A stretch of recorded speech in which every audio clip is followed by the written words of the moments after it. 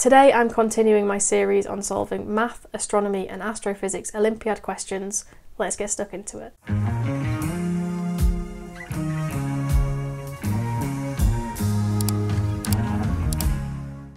Okay, so this is from the IOAA 2019 paper and it's question three. I have released a video on question two, so if you're interested, then check that out. But we're focusing on question three today. So the problem is around the supermassive black hole in the centre of the Milky Way galaxy and M87. And it says the first image of a black hole was constructed recently by the international team of the Event Horizon Telescope, EHT. The imaged area surrounds the supermassive black hole in the centre of the galaxy, M87. The observations resulting in the final image were carried out at a wavelength of lambda equal to 1.3 millimeters, where the interstellar extinction is not prohibitively large. Now, immediately from, from reading this, we're given that the wavelength that it was carried out at was 1.3 millimeters. Now, this is something, we'll call this number one, and this is the first thing that jumps out straight away when we read this is this is going to come in handy. So part A says how large an instrument would be needed to resolve the shadow in effect the photon capture radius, which is three times the size of the event horizon of a supermassive black hole in the centre of a galaxy. Express result as a function of the distance d and the mass m of the black hole. So again, the things that jump out to me would be that we want to resolve the shadow. That's the most important part of the question. And it says in effect the photon capture, which is three times the size of the event horizon. So what we can say from here is that if, so let's say the radius of the event horizon, if that is equal to r, then we know that the full radius that we want to resolve for this shadow is going to be 3r. And then we are told that we want to express the function in terms of the distance d and the mass m of the black hole.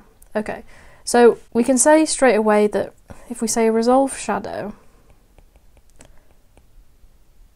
this suggests that we are going to use the angular resolution. So we're going to need angular resolution. Angular resolution. Can't seem to say that word correctly. so angular angular resolution is needed. And for those of you that are new to watching this video, you don't have much uh, astronomy or astrophysics background, then the angular resolution basically refers to the smallest angle between two close objects that can be clearly seen as separate. So I'm going to write that down. So this refers to the smallest angle between two objects. Should I say these are close objects that can clearly be seen as separate. And from this, we can say that the smaller the smaller the angle,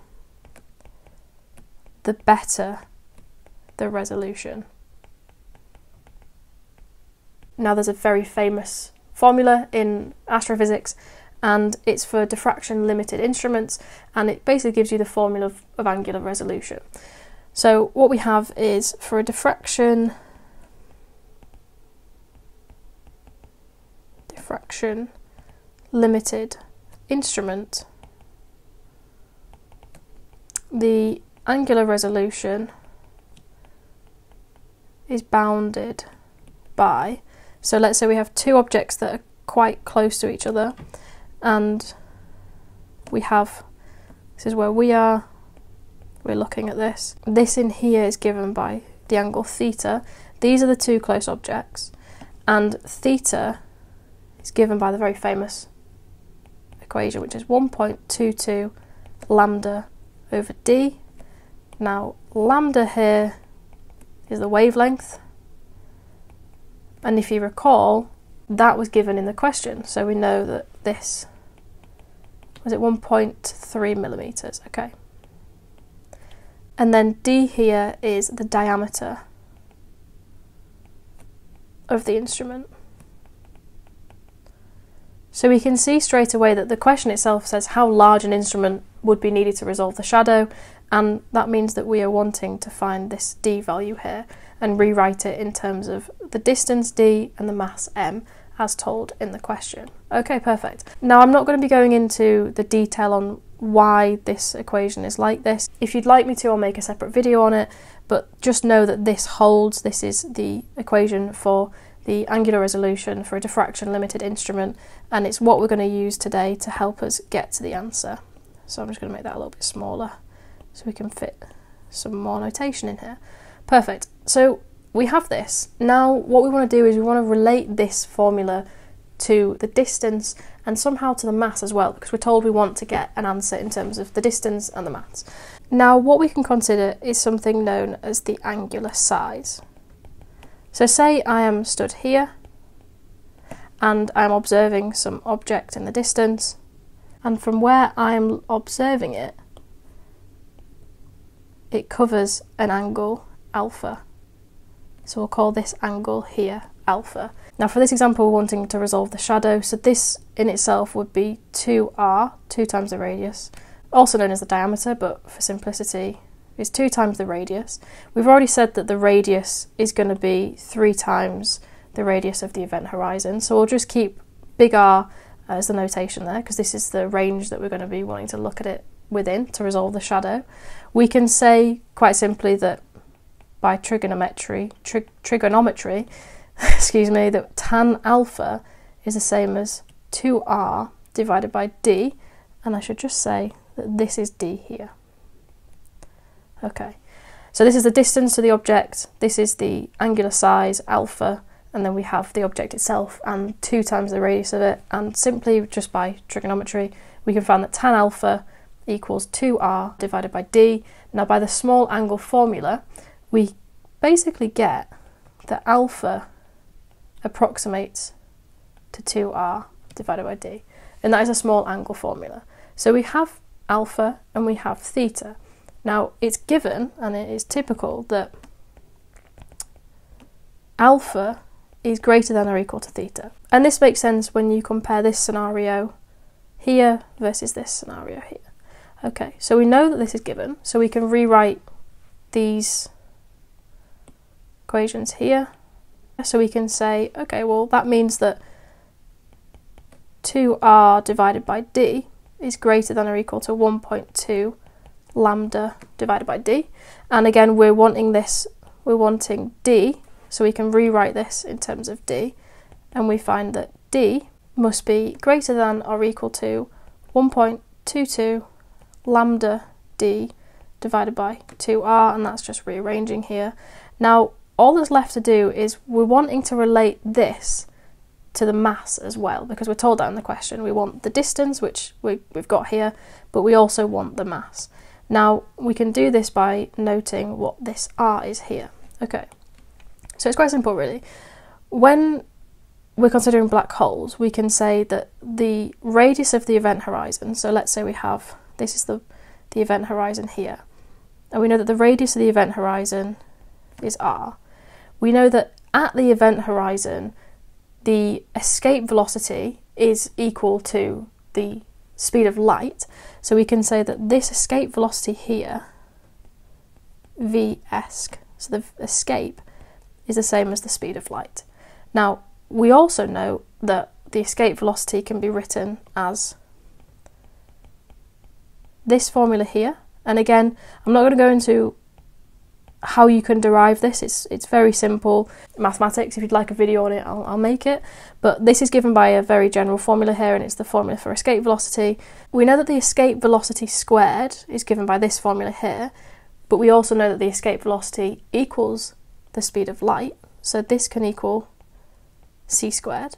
And if we just rearrange this here, we can get an equation for r. So this gives us that r is 2gm divided by c squared. Okay, but that is the radius of the event horizon. And if you remember at the start of the video, when I wrote down that if we had that the radius of the event horizon was r, then the radius that we want to resolve is three times that. So we can say that by this, that implies that big R is 6 gm over c squared. And that's because we've multiplied r here by 3. Perfect. So all that's left to do is substitute our value for r into here, and we find that D is greater than or equal to 1.22 c squared lambda d 12 gm. And that is the answer to part A. Okay, perfect. So we've written it in terms of D and in terms of M. Now, something to note that I didn't actually mention is this radius here is actually what is known as the Schwarzschild. Did I spell that right? I think I did Schwarz, Schwarzschild radius. Uh, and that's typical when we think of black holes. Um, apologies if I if I pronounce that incorrectly, but that is the answer to this question. Yeah, really really nice part A. Now we're going to move on to part B, which is basically just substituting values into here and, and getting some values out. And it's quite nice actually. It's quite uh, visually, uh, it's quite nice because we just plug in some values and we find out how large an instrument has to be to to capture uh, to resolve this shadow. And yeah, it turns out it's pretty big. Now, for the sake of the video, I have just inputted uh, the answers here just because uh, it would take quite a while for me to go through and, and write all of these out. So this question asks to give the size of the instrument in units of Earth radius, so we know that it's going to have to be in R radius of the Earth, and we can do it for I and II, which are a supermassive black hole in the centre of M87. So we just substitute in the distance here and the mass here. So we have that lambda is given in the question, which is 1.3 millimeters. We have D in light years, so we'll have to convert that. We have the mass, which is in the mass of the sun, which is okay, we know what the mass of the sun is. We know what g is, we know what the speed of light is, we know what the mass of the sun is, and this is the equivalent of a light year. Again, I've written this out very long. I could have just done it times 10 to the, you know, some value. Um, but I've just kept it like that just for anyone who is new to watching these videos. Um, and yeah, all we do is we substitute the values into this equation here, which is all of this here. Now, obviously it's not quite as simple as just substituting these values in. We have to make sure that the units match, and I've just noticed that that should have a kilometre on it there. Um, so yeah, when we do this here, the units do in, indeed match, and we get kilometres out front. And we find that for the supermassive black hole in the centre of M87, the instrument would have to be 1.1 times the radius of the Earth, which, is massive. So crazy. Now we can do the same for example two, um, and that is at the supermassive black hole of our own galaxy, Milky Way, and that's slightly less um, in size, but still very very big, and it's one times the radius of the Earth. And again, we've just substituted some values into here. Note that there is a slight difference. This distance is given in light years, and this different difference is given in kiloparsecs. Um, so just note that there's a slight difference between those two questions there. Um, yeah, awesome. So that is the answer. Now, the very final part of the question is a very quick question, and all it says is what type of technology is needed for the development of such an instrument? So, this instrument here that would need to be this large for uh, to resolve the shadow of the black hole. And the answer is B interferometry with an array of radio telescopes. It's basically a technique for improving angular resolution. You can essentially assemble many different telescopes and form a larger kind of virtual telescope, and that allows for a sharper view than each of the telescopes individually. So it's basically kind of creating uh, an ensemble, a collection of, of different telescopes, and therefore by doing that, you are creating a more uh, sharper view uh, for this this telescope. Now, with interferometry, radio astronomers can combine the signals from many different antennas and telescopes, and yeah, as I said, it creates a brighter and sharper image than what was possible for a single antenna dish, and that is what is needed to develop such an instrument. Perfect. So that is the very final part of the question, and that is the full question number three from the IOAA 2019 question three. I hope you enjoyed the video. If you did, then please like, subscribe, and comment, and I'll see you all in the next one.